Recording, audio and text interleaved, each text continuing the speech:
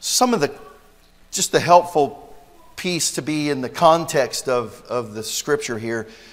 You, you, you who have, are able to be here on a regular basis, you know that, that these are words of the prophet Isaiah, spoken specifically here, the era of the time of the nation of Judah, the southern kingdom.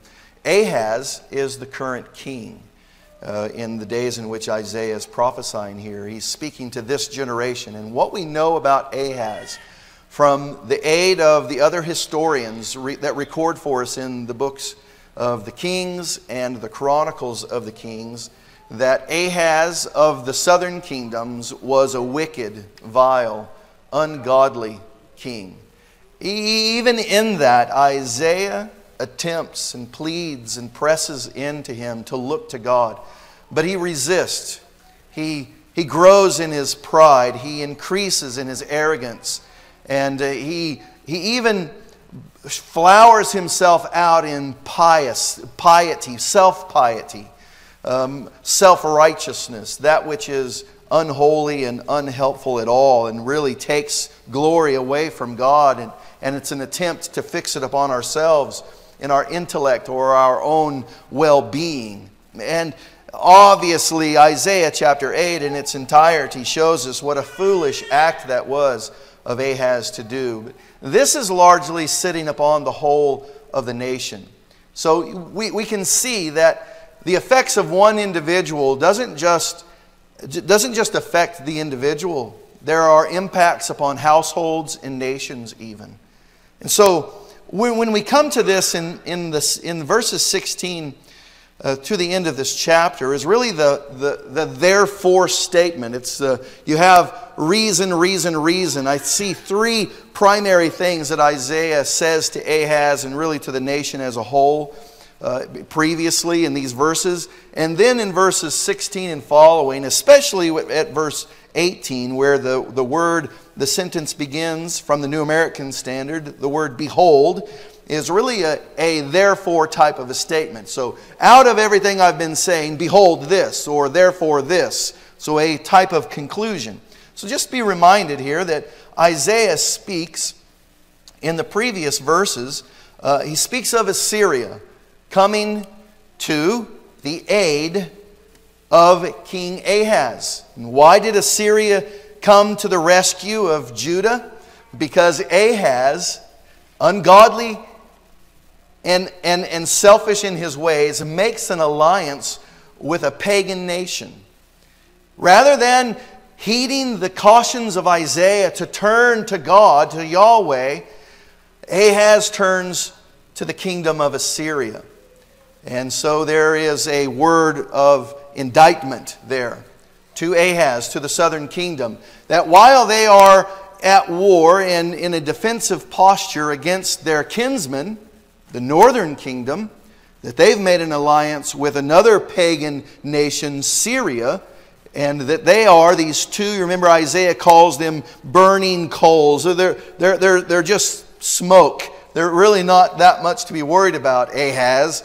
But Ahaz is so burnt, bent up about these, the news and the rumors that they're going to come in and attempting to seize the city.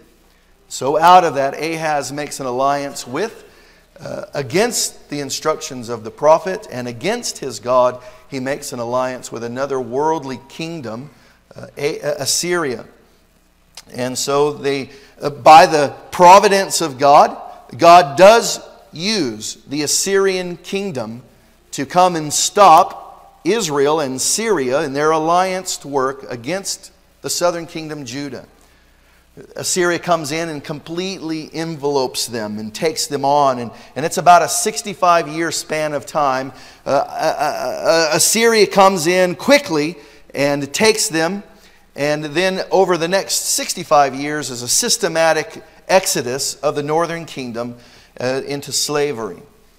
And then there is a judgment that is given against that northern kingdom. That's, these are things that are in the previous verses. That, so we get to the conclusion of, uh, of Assyria coming to the rescue of the, of the southern kingdom. And then a judgment is given by God against the southern kingdom for making an alliance with Assyria.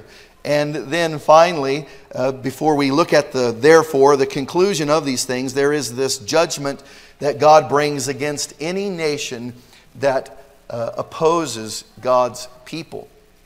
And so, just for some clarification, it is Assyria that is this massive monster that is chewing up landscape and nations along the way. It's when Assyria begins its attempt to eventually overtake the southern kingdom that they are actually overcome by Babylon. And Babylon just chomps away at everything Assyria took up and completely uh, consumes even beyond. So there is, out of these Persian types of nations, Assyria and Babylon, essentially modern day um, Iraq. Uh, it's always kind of interesting to pull out your modern day maps and lay these things over biblical times where there still is great turmoil in the regions of the world. Well, so it's out of those three things that Isaiah is addressing in the previous verses that he'll come to say, Behold, or pay attention, or therefore, because of all of this, this is, this is the statement is here. So pick it up with me. And let's, let's look from verse to verse. It's beginning in verse 16, where he says, To bind up the testimony and seal the law among the disciples. Now, this would be a reference to, in the, in the very start of this chapter, remember what Isaiah does? He comes out and God instructs him to write on a tablet or to write on a scroll in plain letters these words. And remember what those words were? They, they said, Swift is the booty or quick is the prey. Uh, that turns out to be the name that God tells Isaiah to give to one of his sons. And so he, he, he names his son Maher-shalal-hash-baz. Uh, in other words, swift is the booty, quick is the prey. That's the name of his, of his son. And he's told to write it, make this a testimony, make this a statement. And so uh, God is instructing Isaiah through the power of the Holy Spirit to conclude this matter. Make, make this known out of what's happened previously. Let's seal it up. Let's bring conclusion here to this. And so it is in the following verses that Isaiah says, I will wait for the Lord who is hiding his face from the house of Jacob. I will even look eagerly for him. So consider what Isaiah is saying. He's just levied these charges against Ahaz and Judah. He's given a judgment, even though God's already brought his judgment upon the northern kingdom. Isaiah speaks about them in his, uh, in his prophetic words. But here now, Isaiah's position is to step back and to watch. He's said the words, he's spoken the words, he's declared what God has declared, and now his duty is now to hide because God is hiding his face from the house of Jacob. Isaiah now, his duty, his task is to eagerly watch, to eagerly look, to wait for Jehovah. And then he gives us his conclusion. Therefore, behold, this is as though Isaiah has gathered his household. And remember, all of his children bear evidence. And these children that Isaiah, there's three of them in total. We don't know if the middle child is Isaiah's or not. He just makes mention of this child named Emmanuel, who he'll speak again about in chapter 9. But there, there, you can just see that Isaiah has put forth in front of everybody. First of all, here is my son whose name is A Remnant Shall Return, or A Remnant Shall Remain. And then here's this child who will be born to you. His name is Emmanuel, God with you. And of course, that's a prophetic word, and we see that best in the light of New Testament, where the Holy Spirit instructs the writer of Matthew to speak about this Emmanuel, this God is with us, Jesus Christ Himself. And then there's this son of Isaiah, swift as the booty, quick as the prey, uh, to speak about. So you have these signs and wonders, these, these miraculous things that God, these are announcements that God has made to the southern kingdom. A remnant will remain, which, which remember that could mean one of two things to Ahaz that's either good news or bad news. It's good news because God will preserve his people. It's bad news because God is about to, to, to bring his judgment against you. And the good news out of that is he will keep a remnant of his people. So you have this child with you, and then you have Emmanuel. God is with you while this is happening. Don't fret, don't worry. God is with you. And then you have this other son's name. Swift is the booty, quick is the prey. This, this mighty Assyrian kingdom is on the march. And so they stand as indictments. Isaiah and these children that he's introduced to the nation. says, I and the children in verse 18, whom the Lord has given me, are for signs and wonders in Israel from the Lord of hosts, who dwells on Mount Zion. So let's just see a couple of phrases that are there. The Lord of hosts if you've been here at all, at any time in our journey through the book of Isaiah, you recall, you'll remember, you'll see this phrase is one of Isaiah's favorite phrases in his descriptions of God, the Lord of hosts. Your translations may even say Lord of armies or Lord of heavenly armies. It's a, it's a very similar phrase that appears in the Gospels whenever the, the angel appears to the shepherds that night when they announce the birth of Emmanuel. And then suddenly, Matthew describes it, suddenly there is a heavenly host. And that's the same type of phrase that is used in Isaiah's favorite phrase of God the Lord of hosts. There is no limit to his sovereignty, it is a massive un, un, unable to even number. And so these, these children bear as a witness to the whole of the nation, the divided kingdom, Israel and Judah. Remember, before or through Solomon, it's a united kingdom, and they're known as the nation of Israel or the children of God. Well, so he says it's a reference to the whole, even though they're no longer united, it references the, the entirety of, of Isaac's seed, of Jacob's seed, of Abraham's seed. And then to make reference specifically to the capital city of Jerusalem. And so, again, here's an, here, here are some things that help you as you read the scripture. When you see Mount Zion, uh, that's a way, that's a, a reference to the city of Jerusalem. So make note of that when you read through the text. When you see any kind of a reference to the Mount of Zion, it is to the city of Jerusalem, and we can even make even closer, narrow down the, the, the, the, satellite scope, not just to the city of Jerusalem, but even to the place where the temple exists.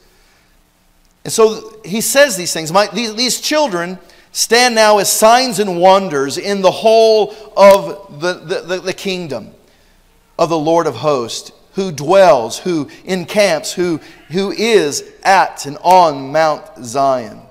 So, verse 19. When they say to you, we'll have to answer who the they are in just a moment, but when they say to you, consult the mediums and the spiritists who whisper and mutter, uh, should not the people consult their God? Should they consult the dead and behave, or, or, or on behalf of the living? So these they, we, we, we, we can see from the larger scope of really a couple of chapters that this would be, this could include a large numbers of people. It can include uh, certainly those who are counsel to leadership uh, in the secular realm, those who are giving counsel to Ahaz, which would, would, might explain why Ahaz was not willing to listen to Jehovah and more readily willing to listen to the counsel of those who were really not at all captured by Jehovah. Uh, it, it, could be uh, really the sentiment of the whole of the nation that there, there has become such a, a spiritual atmosphere, not godly, but spiritual, that they come speaking as though they are spiritual. We, we can, we, whoever the specificness of them are, we can certainly see that what this would say to us, well, we would look at it, that we too would be among a people who will come speaking spiritual types of languages. or speaking in spiritual tones that would want to persuade us into their frame of thinking.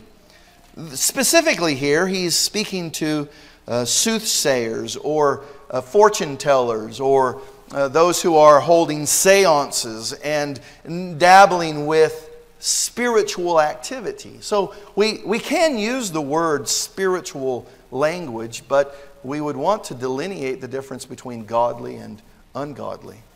This type is of the ungodly kind.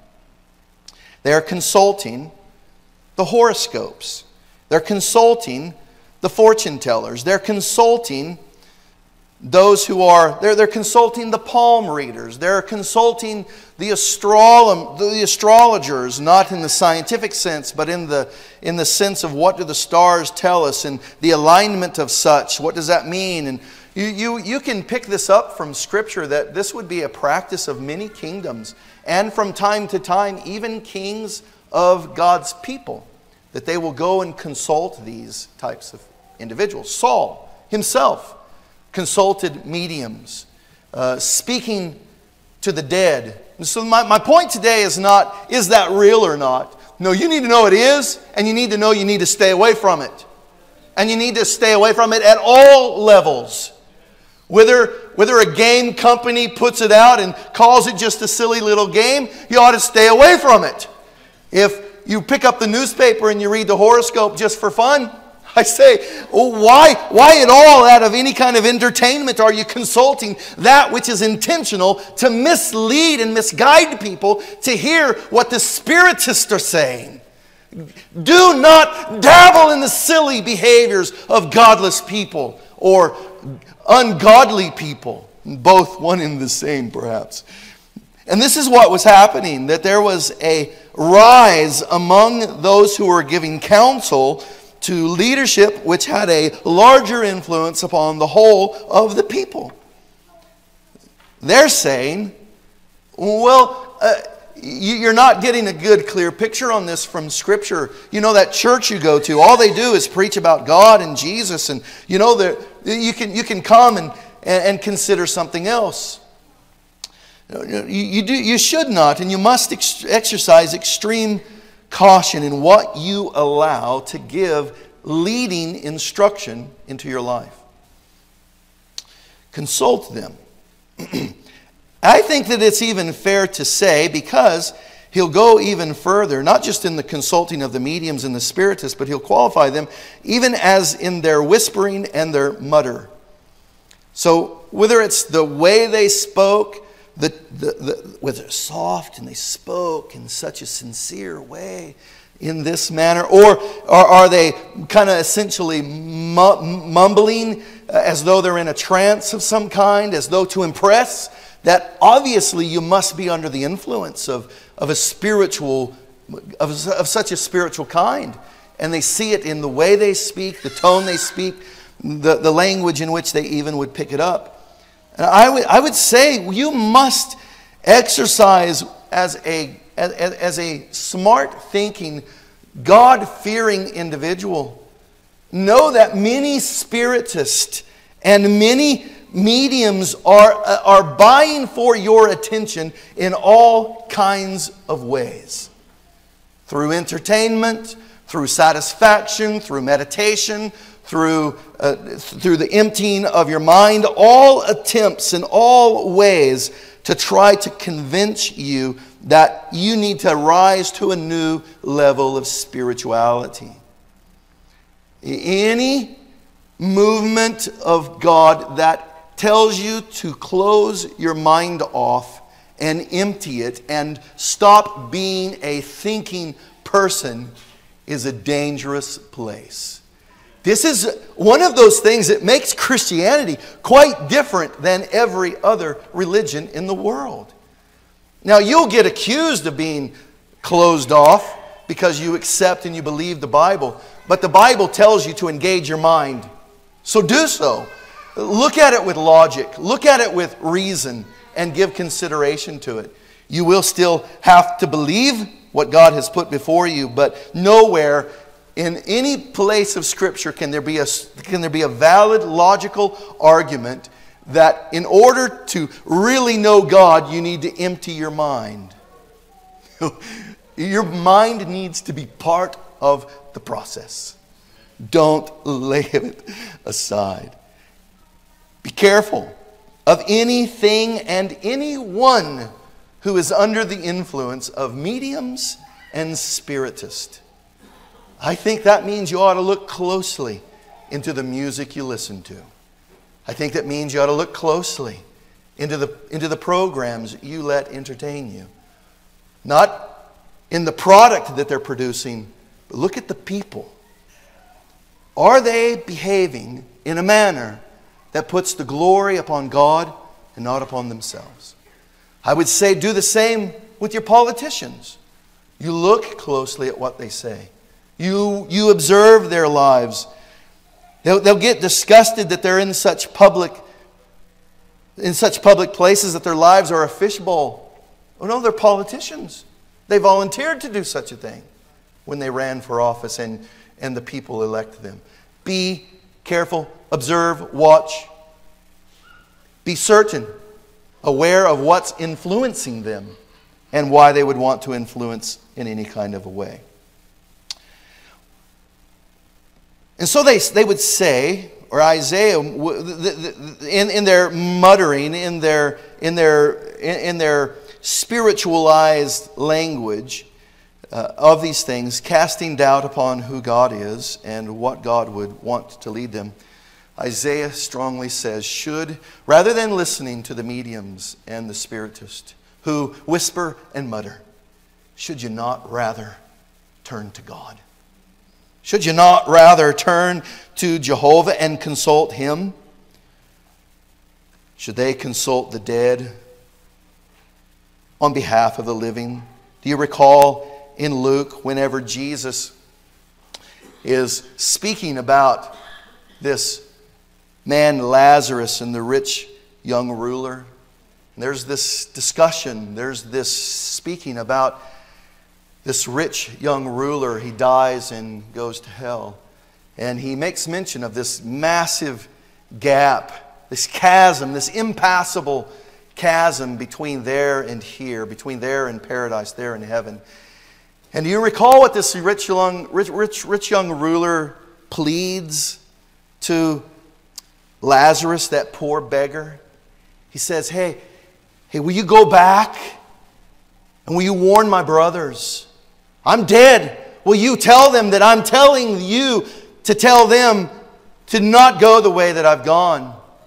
You remember how this unfolds, and Jesus says, Hey, they, they didn't listen to Moses and the prophets. Why would they listen to the dead? They have a testimony living in front of them right now Christ the Lord Himself. They're going to believe a dead person over the living God? Consult Yahweh. Stop being so infatuated with the spiritually dead people who want to impress you with their spiritual activity. I say this as a warning to all of us. And I would say this especially to our young people. Be careful what you let influence you. You think, oh, it's just good entertainment. Oh, it's just good music. No, you are allowing that influence upon you. Be so careful. I carry that caution over into the supposed Christian community as well, by the way. There's a lot of stuff that's put out as family friendly that I would still say, I don't know that it's necessarily true. Um, most of it may be, but be careful. Be extremely careful. And I'd say this perhaps one last thing on the matter. You know, throughout the ages, especially in the modern era, the popularity of Christian music, do you realize that there is as, as ungodly activity among those who present themselves as godly entertainers?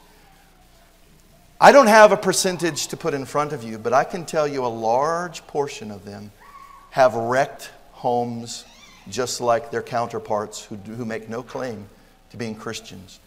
Many of them, you go and you research them, you read their testimonies, and they'll talk about being on tour during their concert days, and they'll talk about being drunk and high on drugs. I say be careful. Be careful about everybody you let give influence to you. Why not consult God on what God would say to you? So I, I should press on. Isaiah's response to all of this, I love it, with an exclamation point even in the English here because it speaks of the emphasis that the original language gives to it. Isaiah says, To the law, to the testimony, to the instructions of God, dear people. Go to God. Stop this nonsense of consulting everybody else to the instructions of God. Do you love His commandments? If not, ask God to give you a love for His commandments. To the law, to the testimony. It bears evidence in front of you that God is who He says He is. If you do not speak according to the, further in verse 20, if you do if they do not speak according to this word, it is because they have no dawn. Now that's a way of saying they have no light. Your translation may have just gone ahead and made the, the, the, great clarity there that they speak like this in consulting the mediums and the spiritists in the, their whispering tones and their muttering ways. And they're consulting the dead to give to give instruction to the living. And They do so in this manner because they have no light. The light of God is not in them, and you're giving them privilege to speak to you. You're giving them permission to come and to give instruction as to how you should respond. Be extremely careful. Many people are speaking from their vantage point of darkness, and, they are, and, and many people are assuming they are speaking from a platform of light. They will pass through, in verse 21, they will pass through the land hard pressed and famished. Meaning they're, they have a mission, they're on their way, and while they're doing so, they're hungry. What are they hungry for? a listening ear. They're hard pressed. They've found new ways to get their message across. They're hard pressed. They, they, they know that if they don't do something now to advance their cause, that people will not give attention to it. And so they're famished, they're hungry, they're, they're, they're longing for darkness, not light. And they will turn out to be, in ver, further in verse 21, they will turn out that when they are hungry, that they will be enraged and they will curse their king and their God they, as they face upward. So, in this day of Isaiah, there is such a spiritual movement that has happened and, and a movement away from true worship of Yahweh. Remember what's happened in the temple? Uh, already, Ahaz has sold off most all of the utensils and the gold of the temple. There's hardly any spiritual, real spiritual activity happening at the house of God. Why did Ahaz sell all this gold off and these utensils and things of the temple? Because he had an agreement with Assyria and he had to pay the price for it. And the nation paid the price for it as well. Families paid the price of this. And so they are there is now in this day, in the pressing forward of the agenda, people now will turn and they will curse their king and their God as they face upward. So mm, that's a, that's a phrase that's saying they're not stopping their religious activity. They're still engaged in religious activity. They're still looking like they are religious people. This is the, this is the same kind of, of tone or same kind of a presentation that you get from when Moses is up on the mountain and the people grow weary of waiting for Moses to return. So they turn to Aaron and they say, Aaron, here, here's all of our gold. Make for us a God who, who brought us out of Egypt.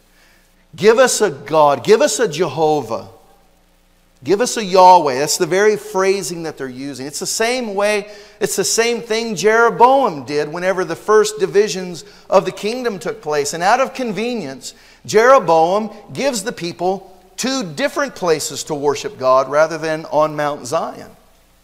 And in that, he builds two golden calves, and he names those calves Jehovah. So they're doing spiritual things. Really, their language hasn't changed at all. But their attention and their devotion is not to Jehovah at all. It is really to this hungry, famished, hard pressing, spiritist, mediums, ungodly people who want and know that they must appear godly in order for this people to buy into it. So you see, the, the great caution lands here for these people that we are certain as to what we've devoted ourselves to. And this is the unfolding of the text that Isaiah has said, Now I sit back and I watch and observe with these three witnesses, these three children that bear witness of these things before you and to you. Now watch as God moves. And what is God doing? He's allowing the rise of the spiritual, not godly, but spiritual people and their influence upon the bulk and the, and, and, and the mass of the population. And out of that, the people's activity looks really no different than previously. The only difference now is they are not at all worshiping Jehovah. They're now cursing Jehovah, but they're doing so in their religious practice. They have full blown accepted a different God. And they've embraced another God. And so then in verse 22, they will look to the earth and behold. So before we see what they behold, notice what they've done. They've, gone, they've, they, they have become like those whom Paul warns of in Romans chapter 1. They, they now no longer worship the Creator, but now they worship the creation. Now they've put that which God has created as the supreme, and they have rejected and reduced the supreme, Almighty, Jehovah. So they have looked to the earth. They will look to the earth. And as they do, as they behold the earth, as they accept it as such as it is, here is their reward. It may not be at the very moment, but distress and darkness, the gloom of anguish, and they will then they will be driven away into darkness. This is as though we're reading Romans chapter 1. If you've not read Romans chapter 1 in some time, you ought to do yourself a favor and go reread Romans chapter 1. This is exactly what they had done. In their distress, in their darkness, rather than turn to light, they turn to more darkness. In that they find gloom of anguish. And now they are in position now where now they are even driven by it. This is what Paul means that God has turned them over to their reprobate minds. He has now removed his hand of grace upon them in his mercy driven ways, and he now lets them completely indulge and drive toward that which they want. And where are they driven to? They're driven by their appetite for godlessness and ungodliness. They are driven into darkness. Well, let's at least pick up verse 1 of chapter 9, and then let's, let's go to way of application of the text. Chapter 9, verse 1. So, all of this, as Isaiah is saying, here, here, here are, here's the testimony. Many people are giving themselves unto the, the mediums and the spiritists, the whisperers, the mutterers. They're, they're listening to the dead. And Isaiah says, No, no, for you, to the law, to the instruction. Quickly now to it. But they refuse, they don't, and so they now are driven to darkness. But, that's a, that's a time when Scripture, when, when that start of a sentence is the news of good news. But they, there but there will be no more gloom for who for, for her who is in anguish. In earlier times, he, meaning God, treated the land of Zebulun and the land of Naphtali with contempt. But later on, he shall make it glorious by the way of the sea on the other side of the Jordan, Galilee of the Gentiles.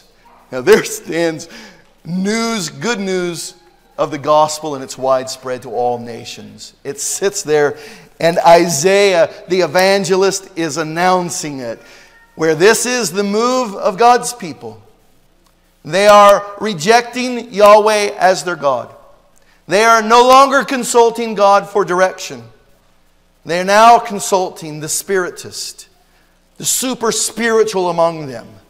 And they come across in such ways because when they speak, they speak with candles lit all around them. And I'm not opposed to candles, but know what's happening in these kinds of moments. They're trying to present a facade, a super spiritual facade, that, that they are somehow more spiritual than those who use fluorescent lights to illuminate so you can read and study the Word of God. They want to cast a shadow on everything so you don't see light.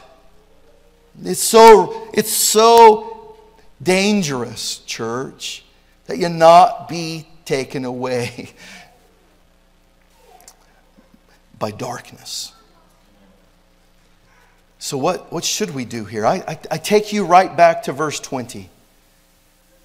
And I say to you, to the law, you must go. To the instruction of God, you must be under her influence. I know you must grow weary of it sometimes. Paul, you, you, you must think there's evil in all things outside of the church. I, I'll be quick to tell you, I think there's a lot of evil inside of the supposed church. We must exercise the same caution when we are organizing ourselves as a church, lest we become like these people. But I say, when it says to the law, I, I know what our culture wants to do with this kind of thinking. They want to call you legalist because all you want to do is consult the Word of God. Uh, the, the titles are hurtful. I get it. Uh, it. It puts a prick inside of us. We don't want to be seen like that. We don't want to be talked about like that. I say, let them, let them say it. It's so easy for the preacher to proclaim it. And, and, and I could tell you testimonies of times whenever I so much didn't want to be known as that while wanting to walk in a manner before God. But indeed, we must prepare ourselves for the kind of attack that will come against any people who will devote themselves to be under submission to the authority of Yahweh, of Almighty God. Consult the Word of God. This is why, this is why it's so important for you to be a regular reader of Scripture. Now, I don't know if you're of the, the practice of taking inventory of where you spend your time or how you spend your time or what you allow into your life with the time of your days. You know that you have limited days of waking hours. And, and you, you get that, you understand that. And so, what do you do with it? How are, how are you going to let the waking moments in, influence the whole of your life? If you've not done an inventory recently, can I invite you to examine your life under the lamp of Scripture?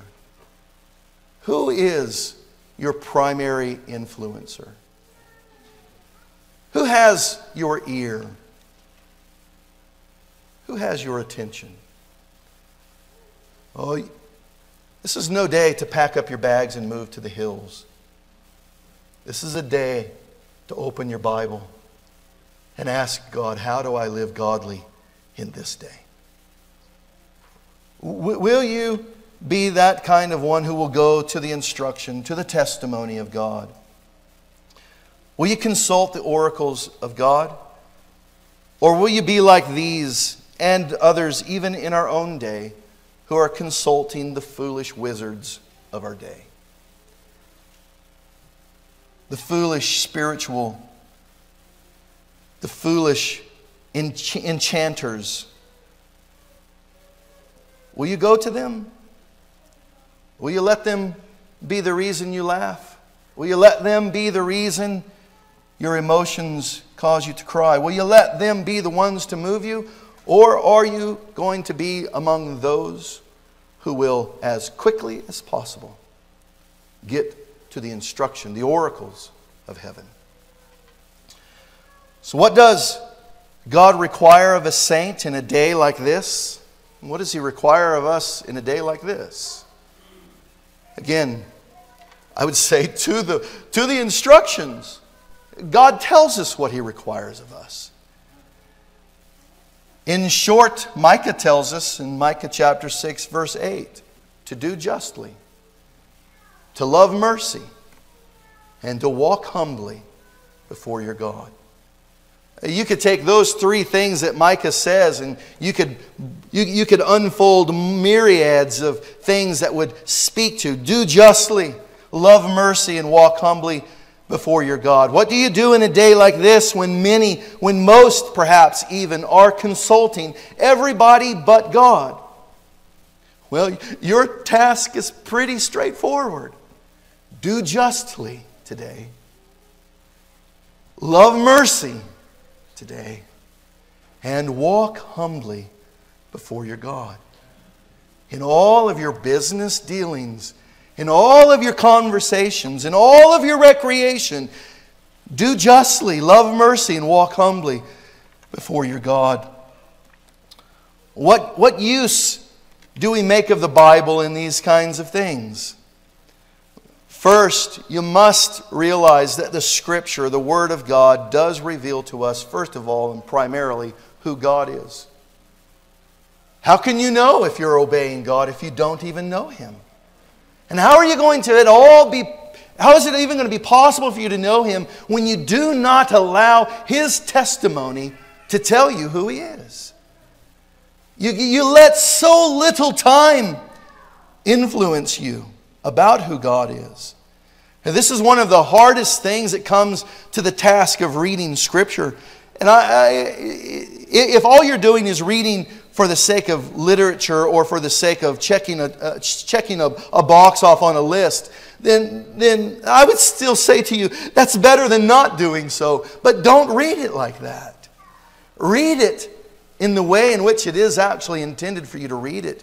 It is God telling you who He is. And it is God telling you who you are. It is God telling you what you need to do because of who you are. Sinner, an enemy of God. It's telling you what you must do to be reconciled to God. You must believe. You must repent of your Uh, of your pagan God. You must repent of your idolatry. Put all gods aside and worship and seek only God and Him alone. Trust that when the Bible speaks, that it speaks according to who God is. It speaks from that vantage point. When you read Scripture, when you make use of it, when, when Isaiah says to the instructions, to the testimony, go to that which has been unfolded for us. The writer of Hebrews in Hebrews chapter 1 tells us that in times of old, the prophets spoke to us like this for this reason. Go to the counsel of the Word of God, go to it and seek it. Let it speak to you accordingly in your life. Make this scripture the standard. Now, this scripture is not a, some, it's not a book of magical incantations that, will, that you can speak a few and believe a few and it will somehow change the course of this day or that day. No, if you're treating this Bible like that, then you're no different than the spiritist. You're no different than the mediums. You're no different than the spiritual talkers. You're no different than the whisperers, than the mutterers. You're no different than those who are consulting the dead. No, you go to this word because it is a standard for us. It is one that is certain. It is, we can have confidence that what we're reading here is who God is and what He requires of us. What else must you do? When, you, when we go to the law, when, when we go to the testimony of God, you must conform to its precepts. Again, you're not just reading literature, and, and, and you know that when you read the Bible, you're reading several forms of literature. But you're not just engaging yourself in literary activity. You're reading God revealing Himself to you and what He expects of man. So, see that as the standard of what it is and conform to its precepts. Take and receive counsel from who? From God. Because you're reading it as such, you believe it as such. Do not give counsel and do not receive counsel outside of this standard. Let it, let this word, as the psalmist says, let it literally be like a lamp illuminating your path. Are you in the midst of a, of a serious decision? Are you, are you trying to sort out who you are and what you want to be? Then let the Word of God illuminate this path. Are you in, the, are you in a pickle in a business dealing? Let the Word of God illuminate what you need to do. Are you in the, are you in the throes of hardships at the workplace? Are your neighbors hurling insults against you, let the Word of God illuminate your path. And do justly, a love of mercy, and walk humbly before your God. You ought to let this Word examine your heart. You ought to, you ought to let it be like a skilled surgeon. And there is a problem. Let a skilled surgeon of the Word of God cut and expose and divide and, and show. The Word of God even reveals itself as a sharper than a two edged sword. Let it divide truth from untruth. Let it expose and let it show where the cancer of sin exists in your life. Let it examine your heart. You ought to be nourished by this word.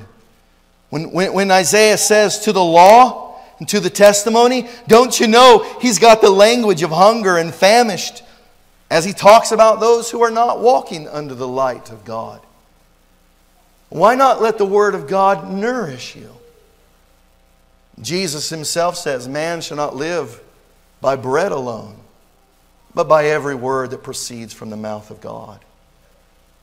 Jesus said, My meat is to do the will of my Father.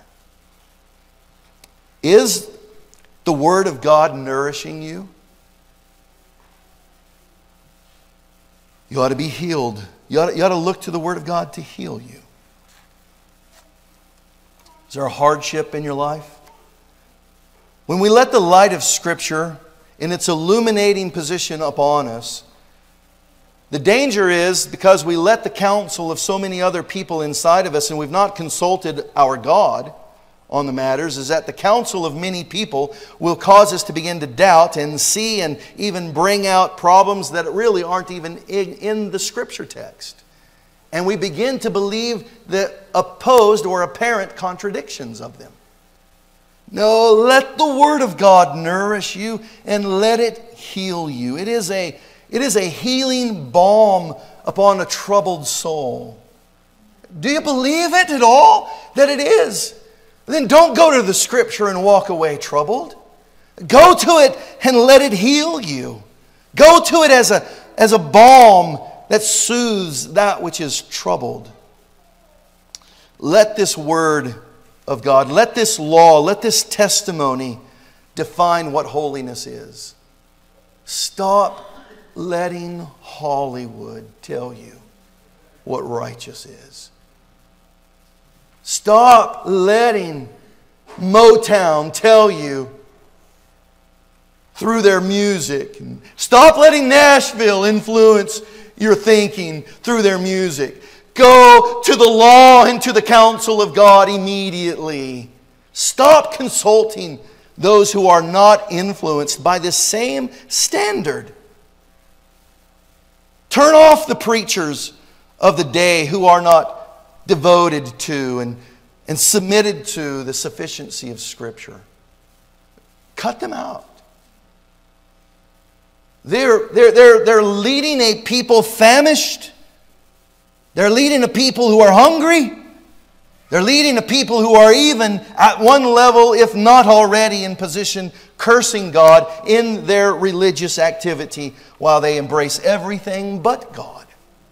Oh, dear church, ex- exercise extreme caution here.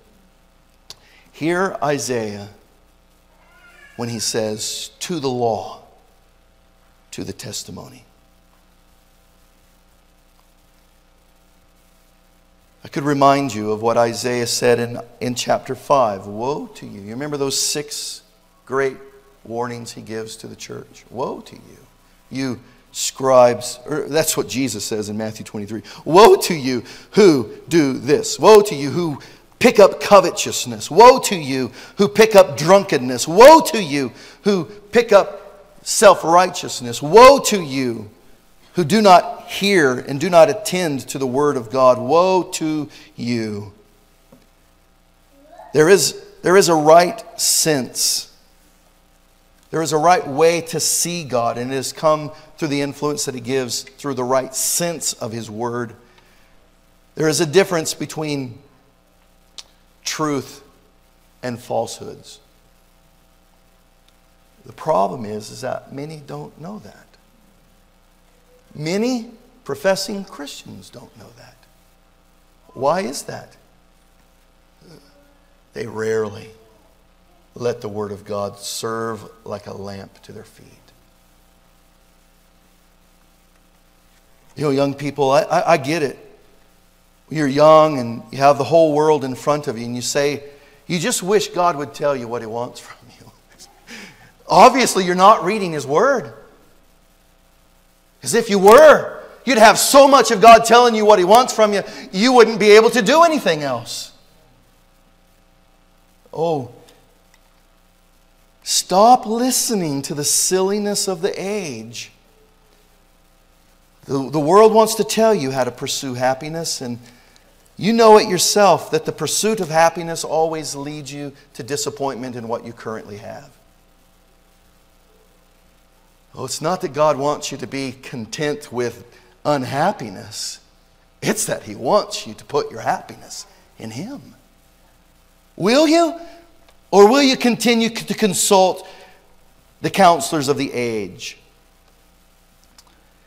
These counselors of the age, they don't even understand themselves.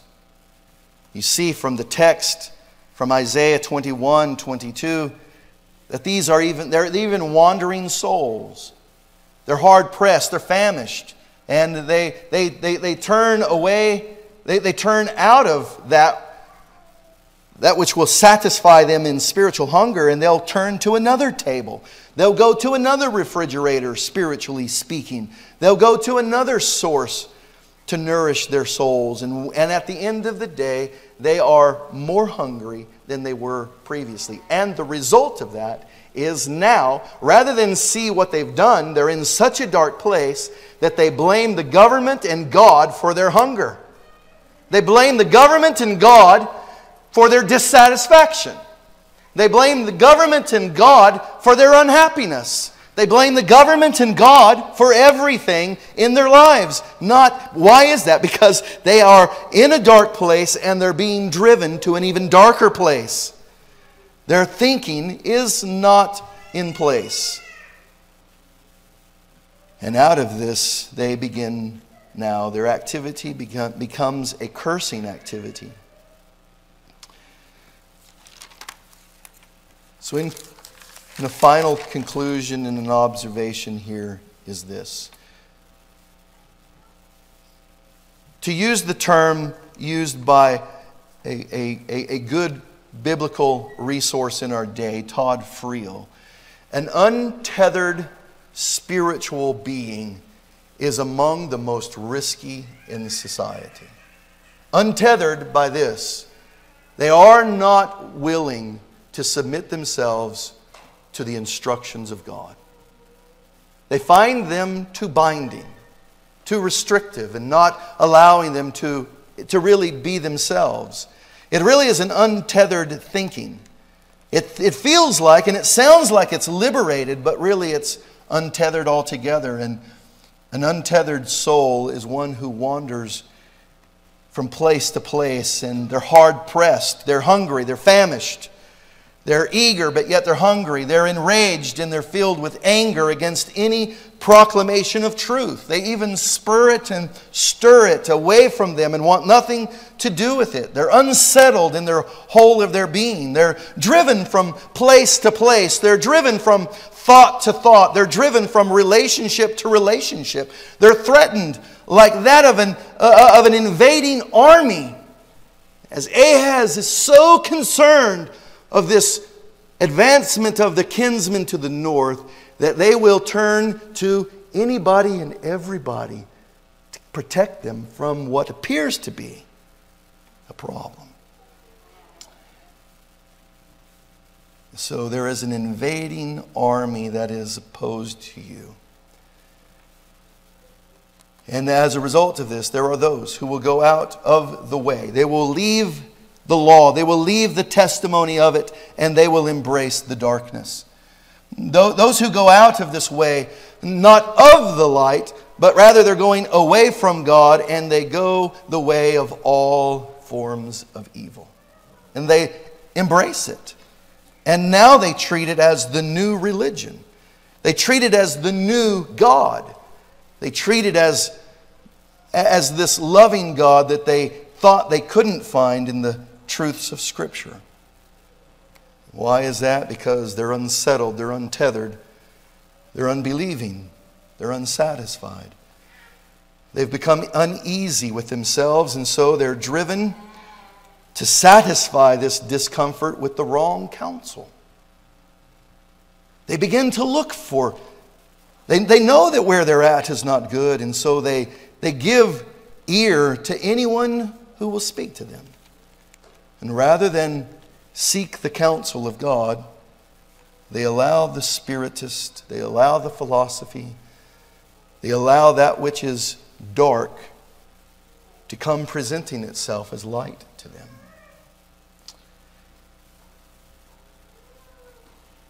Can I conclude with a reminder of what Nehemiah has to say? In Nehemiah chapter 9, just in the time, in the time stamp of Scripture, Nehemiah's, you, we, we, would, we would look at, we would think Nehemiah must come sometime after Isaiah. Timeline wise, it does. Uh, we shouldn't be bothered by the placement of the book of Ezra and Nehemiah where it is. Uh, if, you, if you're bothered by it, then just turn back a few other books and you'll see 1st and 2nd Kings, 1st and 2nd Chronicles. So it actually makes sense that Ezra and Nehemiah are where they're at in the placement. They're not in the prophetic era range of, the, of the literature of Scripture. But Nehemiah is writing and he's describing to us a people who have been driven by darkness. They've been driven by and through captivity. And Nehemiah opens up for us. He, this isn't Nehemiah speaking, this is Nehemiah recording to us what was spoken. So if you've if you've gone to Nehemiah, follow along. If you're not there, just listen and listen closely to this. As Renee and I were reading this this week in our evening reading, we were both struck by the, by the compassion of God. Listen again or listen for the first time. Nehemiah chapter 9. I'll pick up the reading in verse 6 and following. You, alone are the Lord. You have made the heavens, the heaven of heavens, with all their host, the earth and all that is on it, the seas and all that is in them. You give life to all of them, and the heavenly host bows down before you. You are the Lord God. You chose Abram, and you brought him up from Ur of the Chaldeans, and you gave him the name Abraham. You found his heart faithful before you, and you made a covenant with him to give him the land of the Canaanite, of the Hittites, and of the Amorites, of the Perizzite, and of the Jebusites, and of the Girgashite, and, and to give it to, this, to his descendants, and you have fulfilled, you, God, you have fulfilled your promises for your righteousness. you saw the affliction of our fathers in Egypt, and you heard their cry by the Red Sea.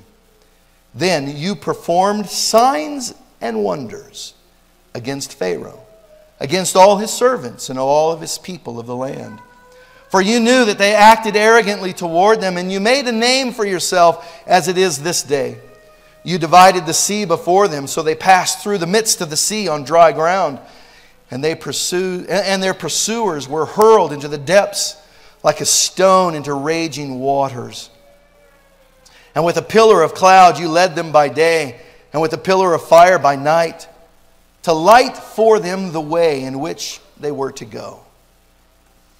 Then you came down on Mount Sinai, and you spoke with them from heaven. You gave them just ordinances and true laws, good statutes and commandments. So you made known to them your holy Sabbath, and you laid down on them commandments, statutes, and laws through your servant Moses. You provided bread for them from heaven for them for their hunger.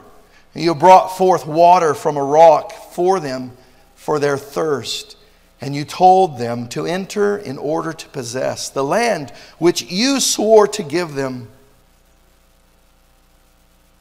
But they, our fathers, acted arrogantly.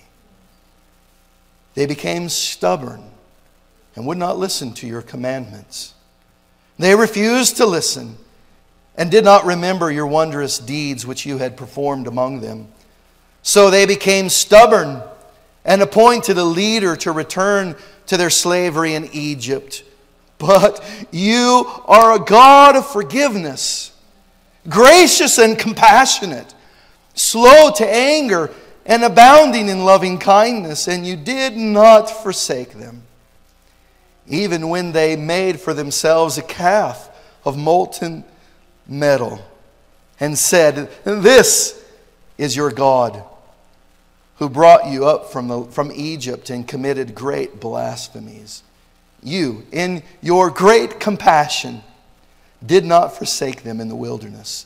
The pillar of cloud did not leave them by day to guide them on their way, nor the pillar of fire by night to light for them the way in which they were to go. You gave your good spirit to instruct them. Your manna you did not withhold from their mouth and you gave them water for their thirst. Indeed, 40 years you provided for them in the wilderness, and they were not in want. Their clothes did not wear out, nor did their feet swell. You also gave them kingdoms and peoples, and allotted them to them as a boundary. And you took and they took possession of the land of Sihon, of the king of Heshbon, and of the land of Og, of the king of Bashan. And you made their sons numerous as the stars of heaven, and you brought them into the land which you had told their fathers to enter and to possess. So their sons entered and possessed the land. And you subdued before them the inhabitants of the land of the Canaanites, and you gave them into their hand with their kings and the peoples of the land to do with them as they desired. They captured fortified cities and a fertile land. They took possession of houses full of every good thing hewn cisterns, vineyards, and olive groves, fruit trees in abundance. So they ate and were filled and grew fat and revealed or reveled in your great goodness. But they became disobedient and rebelled against you, and cast your law behind their backs, and killed your prophets who were admonished, who had admonished them, so that they might return to you. And they committed great blasphemies. Therefore, you delivered them into the hand of their oppressors who oppressed them. But when they cried to you in the time of their distress, you heard from heaven and according to your great compassion, you gave them deliverers and delivered them from the hand of their oppressors. But as soon as they had rest, they did evil again before you. Therefore, you abandoned them to the hand of their enemies, so that they ruled over them.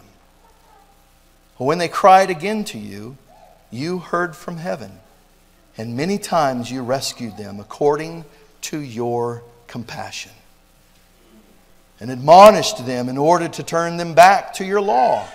Yet they acted arrogantly and did not listen to your commandments, but sinned against your ordinances, by which if a man observes them, he shall live. And they turned a stubborn shoulder and stiff-necked their and stiffened their neck and would not listen.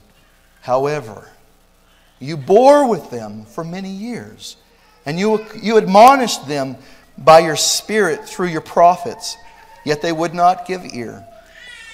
Therefore you gave them into the hand of the peoples of their lands, of the lands. Nevertheless, in your great compassion you did not make an end of them or forsake them.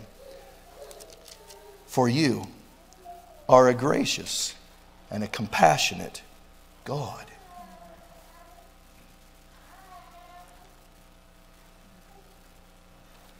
Isaiah, Nehemiah is recording for us of a people who've come home from a people who were in this day not seeking the counsel of God. Oh, may we be a people who will turn to God.